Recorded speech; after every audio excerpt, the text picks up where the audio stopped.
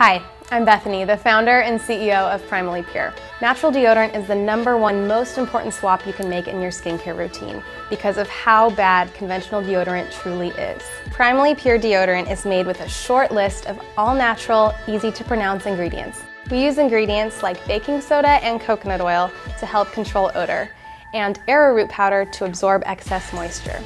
Our deodorant is made in-house in our headquarters in Southern California by the incredible women on our team. So what are you waiting for?